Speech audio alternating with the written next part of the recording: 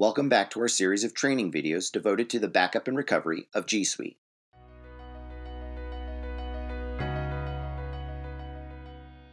This video focuses on the backup and recovery operations of users' Gmail mailboxes, calendars, and contacts. So let's get started. As you remember, Acronis Backup Cloud is natively integrated with G Suite by means of the Acronis Backup Service application available in the G Suite Marketplace for your convenience. This integration allows you to perform full backups of users' Gmail mailboxes. Moreover, it allows conducting full and granular recovery of individual Gmail messages, calendars, and contacts. First, we'll show you step by step how to perform the full backup of Gmail mailboxes, including calendars and contacts for individual users. Then, we will demonstrate for you how to conduct the recovery operation of Gmail messages, calendar events, and contacts across users and Google organizations. We assume that your company has two Google organizations and you've registered both organizations in the backup console. As the next step, you'll need to create a backup plan for one of the existing G Suite users. Thus, log into the backup console as the company administrator and navigate to Users and then All Users. Select a desired user in the list and press the Backup button in the right pop up panel. In the drop down list, What to Back Up, select Gmail. Specify a name for the new backup plan.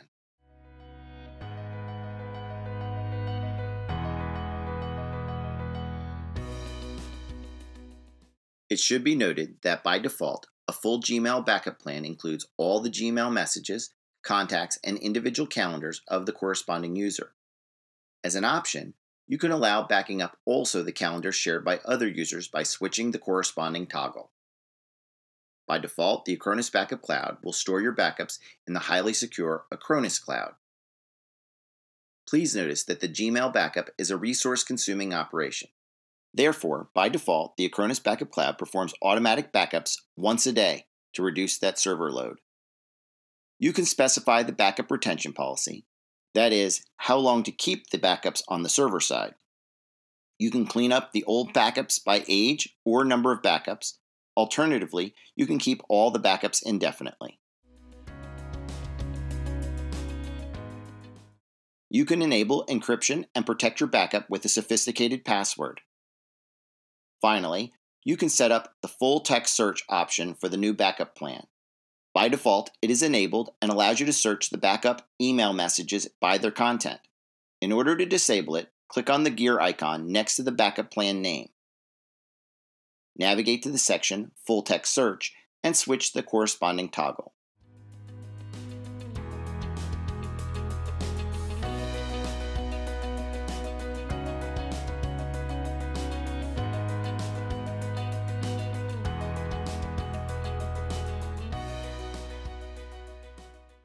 Press the Apply button to finalize the process of backup plan creation. As you can see, for the selected user, the backup status has changed from Not Protected to Backup Scheduled. Press the Run Now button to initiate the backup process manually.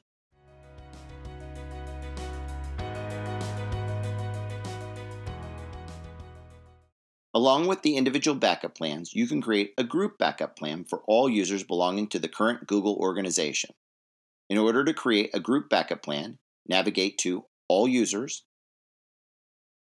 and in the right pop up panel, press the Group Backup button. In the drop down list, What to Back Up, select Gmail. The process of creating a group backup plan is similar to the individual backup plan.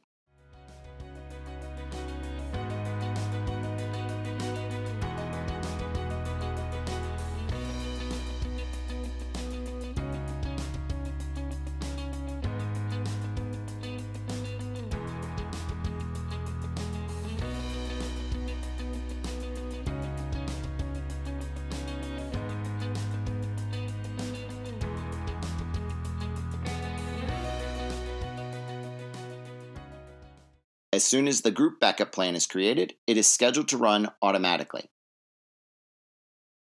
Well, let's have a look at the recovery operations now. In order to perform the Gmail recovery for a specific user, navigate to All Users and select the desired user in the list. Press the Recovery button in the right pop-up panel. You can see all the available backups stored in the Acronis Data Center for the selected user.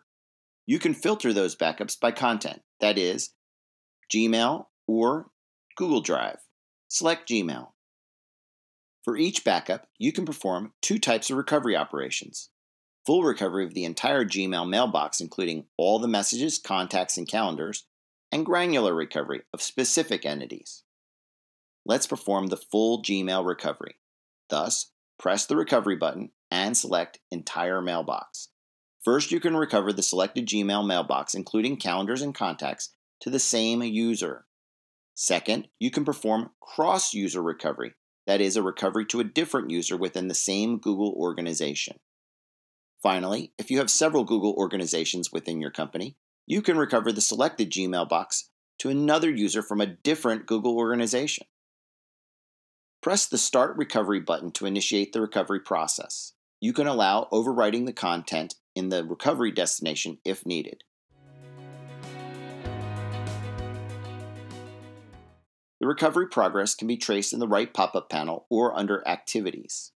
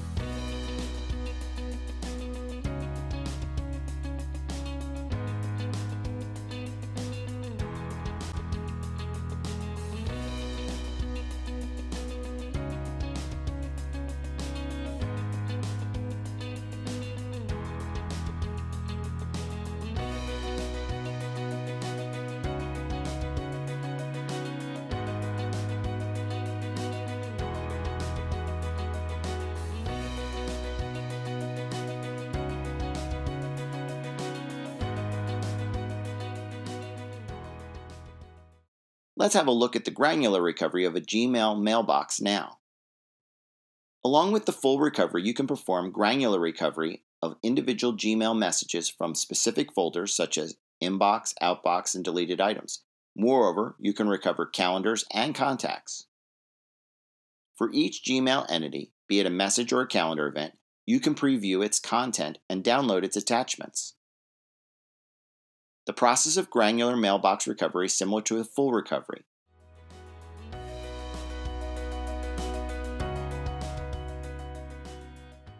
In order to initiate the granular recovery process, press the recovery button and select Email Messages.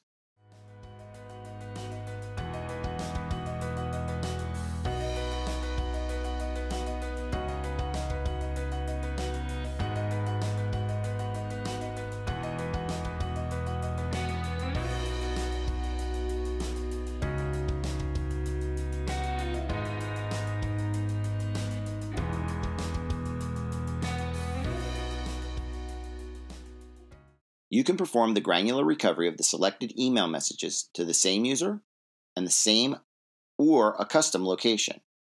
Moreover, you can perform a cross-user or cross-organizational recovery. Press the Start Recovery button to initiate the recovery process. You can allow overwriting the existing content in the recovery destination if needed. The recovery progress can be traced in the right pop-up panel or under Activities.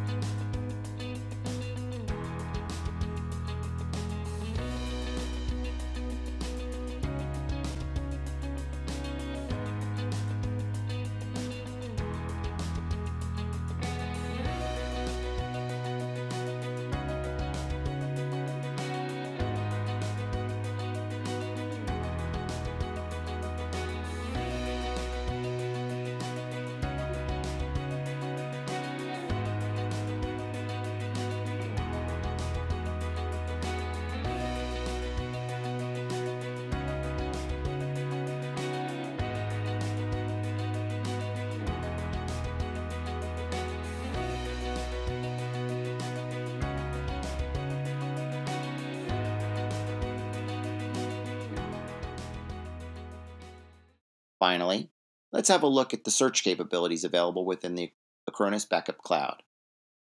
First, you can perform a generic wildcard search for a desired user. Second, for each user, you can perform a metadata based search in the archive for a specific message, calendar event, or contact.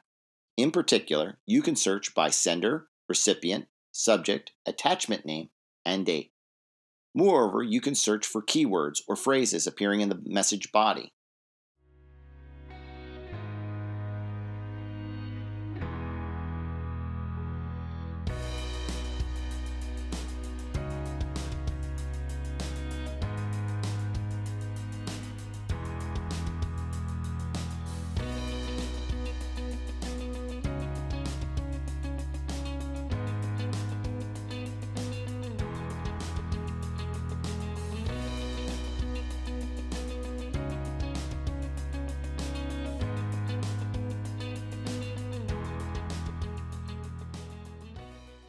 Finally, you can filter email messages containing attachments.